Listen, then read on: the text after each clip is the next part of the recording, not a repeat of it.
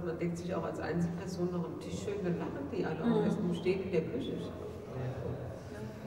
Fast Food ist. Tschüss. Okay, ciao. Bis irgendwann.